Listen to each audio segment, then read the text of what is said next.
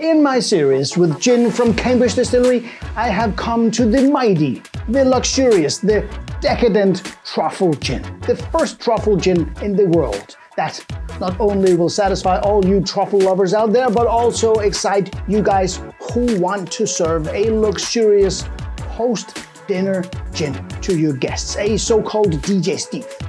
Let's take a closer look at this unique gin.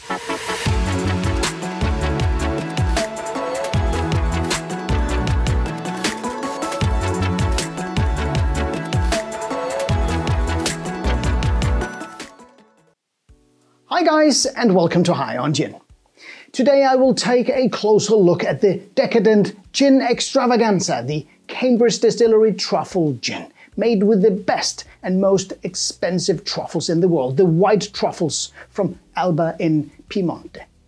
And as it is with everything Master Distiller William Lowe does, nothing is left to circumstances, but has a well, you can say greater meaning and purpose. So, when he created the world's first truffle gin, it was never the purpose just to do a gin with truffles.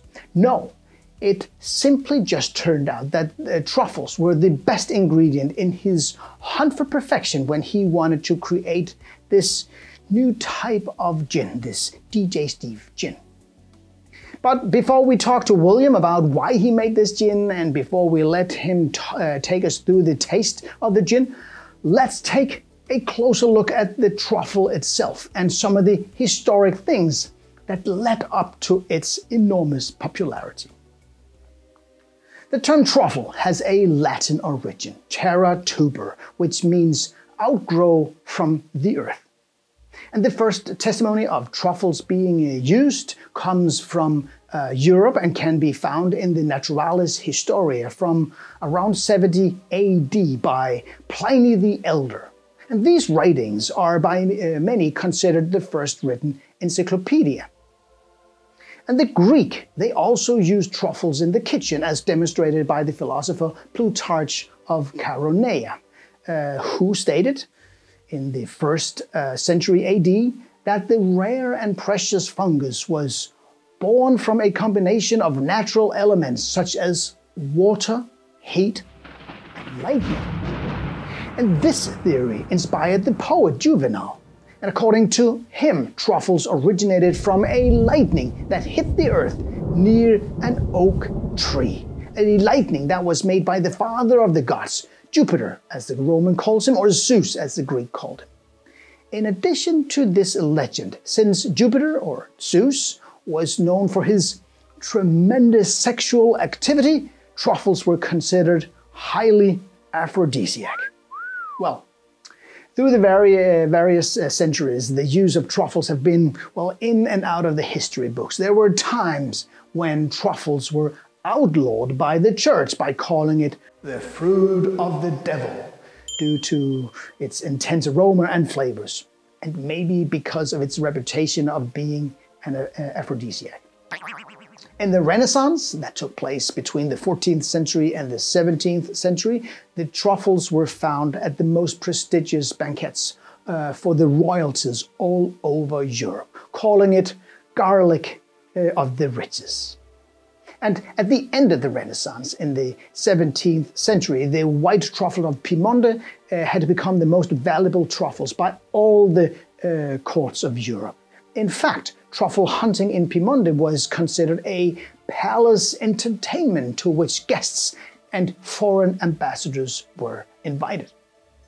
And jumping forward to the 20th century, when Giacomo Morra left his modest family farm in 1909 to set up a small shop called um, uh, Tartufi Morra in the village of Alba, where he sold local products including the local white truffle. And in uh, 1929, he decided to create an entire event around the truffles with the creation of the first truffle fair of Alba.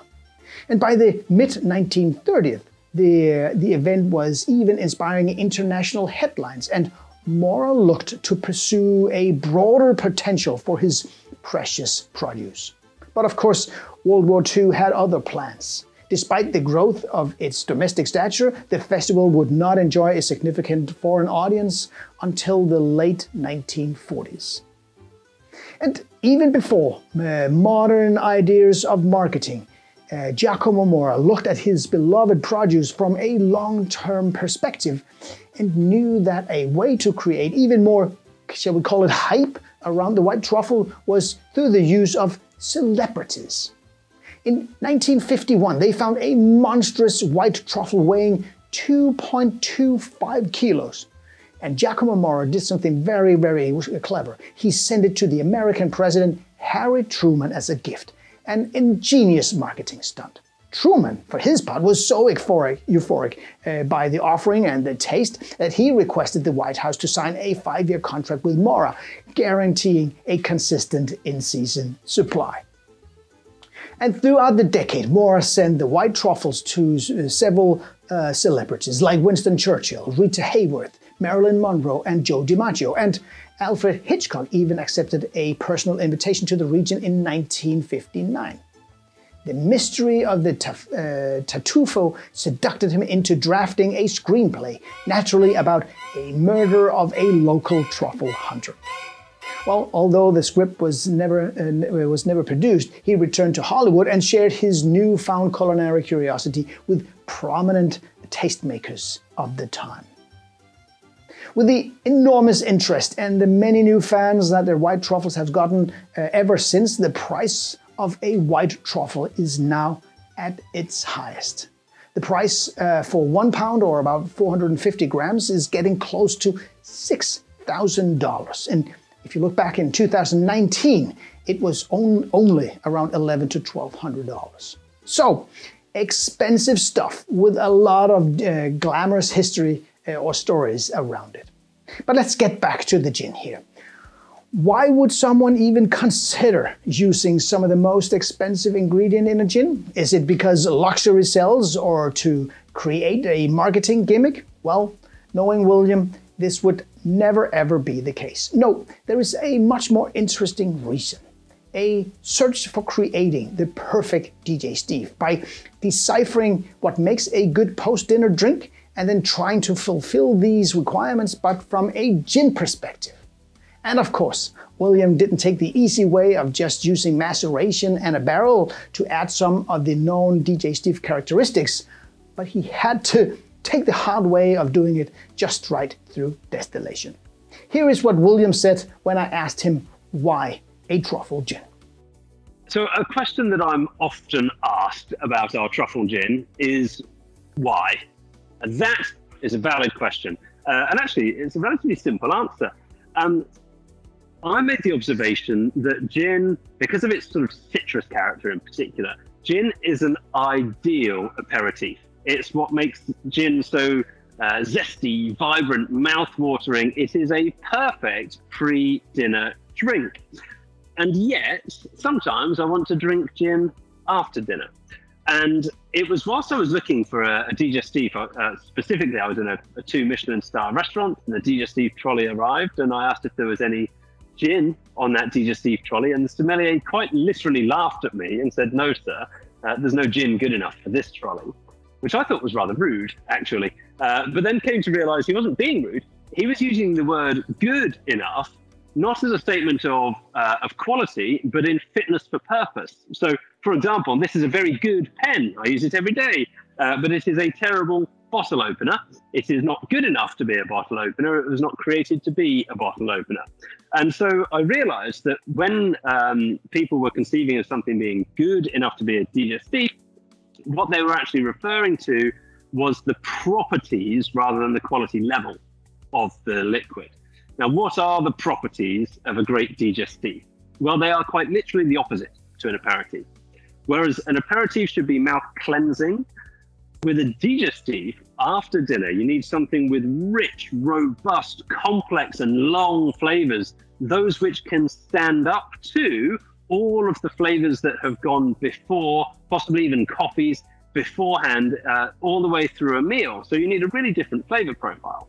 So, which spirits are good enough to be digestifs? Well, you can probably guess that the trolley that was presented before me was populated almost exclusively with whiskies, cognacs, armagnacs, most of which were my age or older, which is to say that through oak maturation, they had achieved the level of concentration and complexity that made them ideal for digestif serving.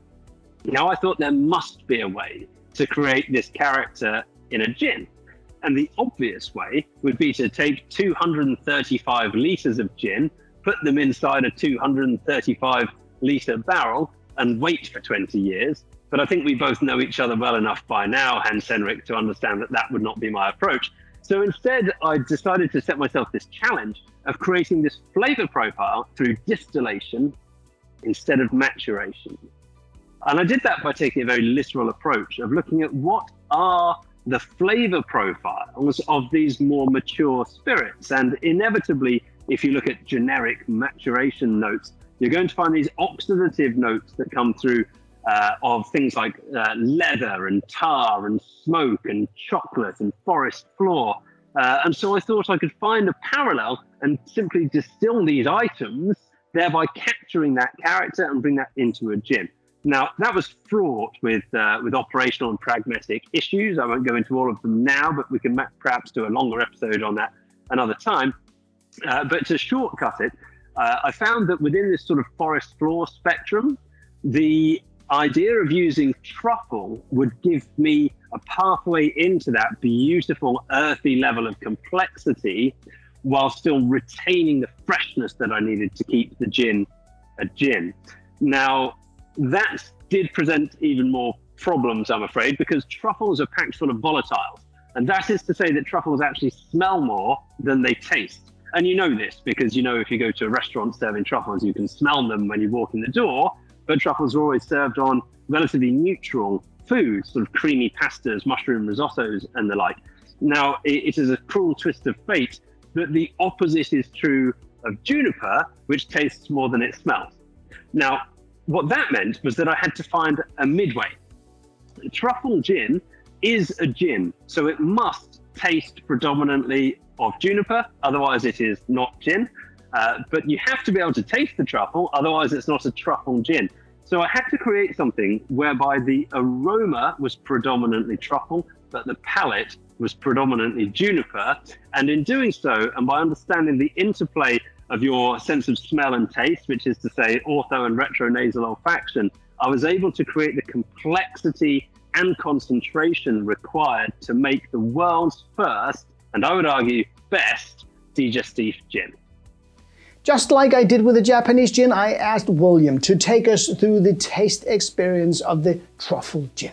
And if you have the truffle gin, again, stop the video and pour yourself a glass and enjoy the tasting with William. And if you haven't got the gin yet, this, this, my friends, is what awaits you out there. So, this is how William describes the taste experience. So, when I serve truffle gin, usually I literally serve it like this. I deal with truffle gin in the same way that you might the finest malts or cognacs that you could get your hands on. Uh, so, I will usually be drinking it either neat or perhaps just with a single ice cube. It does make a great Negroni, but that's a story for a different time. Whilst we're convinced that, uh, whilst we're uh, concentrating rather on just tasting it, it's important that we keep this in a clean glass. So, as always, I'll draw people's attention to the appearance here. Crystal clear, not chill filtered, just distilled properly the first time. And then we're going to come to the nose. Now, the nose on uh, truffle gin is really interesting.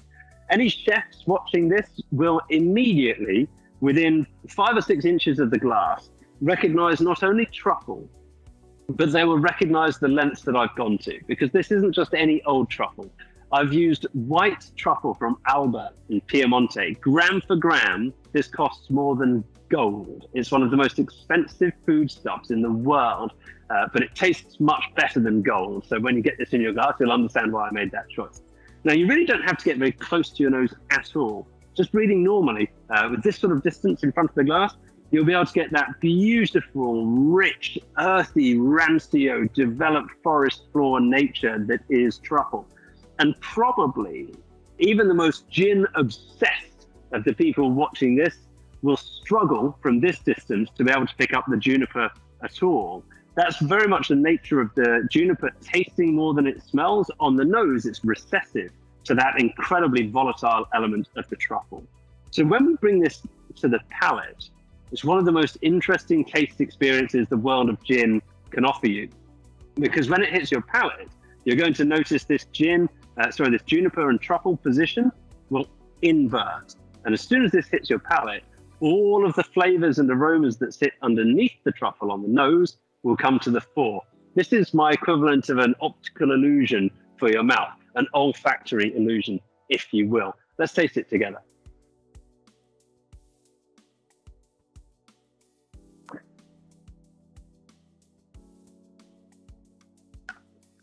And it's that burst of freshness and then that racy linear note that comes through the pininess of the juniper. And it comes as such a surprise when it hits the palate because the truffle was so dominant, and yet it comes in at the finish once it's on the palate. And the really fun thing to do here, it's always easier for me because usually I'm talking as I finish this tasting. But if you're breathing with your mouth open, as you breathe in, you'll get the truffle, and as you breathe out, you get the juniper again. And that flip flop between the juniper driven character and the truffle driven character builds in this amazing complexity. Now, there are botanicals in here other than truffle and juniper, but it took me a very, very long time to precisely nail these down. And you may be aware of what happened when I told the world how I made my Japanese gin. Uh, and so I've decided on this occasion to keep the rest of the recipe a secret so the recipe to truffle gin is known only to myself and to our production manager, and that's why the two of us never travel alone. Uh, sorry, never travel together in the same private jet. Uh, is that and the fact that we don't have a private jet? But you take my point. Uh, so we keep this recipe very, very secret.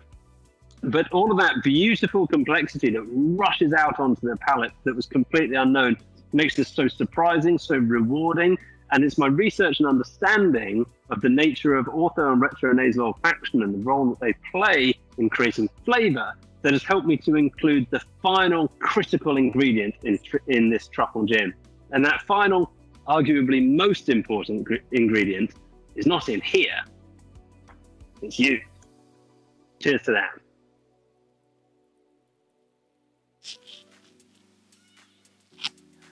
I really, really agree with William. This gin is unlike any other gin. This optical illusion, as he called it, is such a cool and different experience. And the world's first digestif gin is the ultimate gin, I think, for occasions like New Year's Eve post dinner drink. Just imagine serving this rich, decadent gin to your guests. What could be better? So, this was the third episode in my little series of tasting some of the gins from Cambridge Distillery. I've now tasted the Cambridge Dry Gin, and if you haven't seen that episode, I will link to it up here. And then I tested the Japanese gin, the world's uh, first gin entirely with Japanese botanicals. And again, if you haven't seen that episode, I will link to it up here. Uh, and now we've gone through the truffle gin. There are still several gins from the distillery that I could test, and if you saw my latest uh, review when I tested this, the Japanese gin, you also saw that I'm now starting up a little saving, saving up some money for the world's most expensive gin, the Cambridge Distillery Watenshi gin. Well, if I'll ever get to that point where I have the 2,500 pounds that it requires, I don't know. But I would love to get it and taste it. And here's another thing that I would love to do and that I will do and that is to go and visit the distillery. And you can actually go there as well and see the distillery, and you can visit the new Cambridge uh, Gin Laboratory, where you can get an amazing experience whether you want to taste it, mix it, or make it yourself. And I'll let William explain what awaits us. So come and visit us. You must. Uh, it's really easy. I guess most of your audience uh, are over there in Denmark. Uh, it's really easy to get to us from London, and it's very easy to get to London. We're just a 50 minute train journey from London out to Cambridge. And then once you're here, you have two choices. You can come and visit me right here in Cambridge Distillery. It's about a 15 minute taxi ride from the train station. or you can walk straight into the centre of Cambridge in its historic city centre and sandwiched between two of the most famous colleges in the world on a beautiful cobbled street, you can come and visit Cambridge Gin Laboratory. Now, the Gin Lab, as we call it, is our retail and education centre. It's open seven days a week, and every day of the week you can come in and join us on one of our tasting classes to find out more about how and why we do what we do, and you can even have a go at doing it yourself. Alexandre Dumas said it so fine. Truffles can, on certain occasions, make women more tender and men more lovable. And I can only say that Cambridge Truffle Gin does, does both to men and to women every time you enjoy it. Until next time.